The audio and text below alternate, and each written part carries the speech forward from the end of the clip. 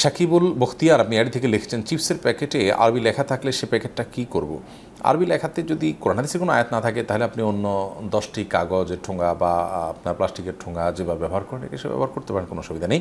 আরবি লেখা থাকলেই যে সেটাকে আপনার বিশেষ সম্মান করতে বাধ্য ব্যাপারটা সেরকম নয়। আরবি লেখায় খারাপ কিছুও থাকতে পারে, আর সাধারণ কিছুও থাকতে পারে। এগুলোর বিধান যা লেখা আছে সেটার উপর ভিত্তি করেই হবে। তবে লেখা জোকা এগুলো অপমানজনকভাবে পায়ের নিচে যেন বা এবং অপমানজনকভাবে ময়লা ইত্যাদিতে না পড়ে, সেটা জ্ঞানের প্রতি যে আমাদের ভাষার প্রতি, জ্ঞানের প্রতি যে আমাদের শ্রদ্ধা থাকা উচিত, তার অংশ হিসাবে এটি সপক সকল ভাষার ক্ষেত্রেই যথাসম্ভব খেয়াল করা উচিত।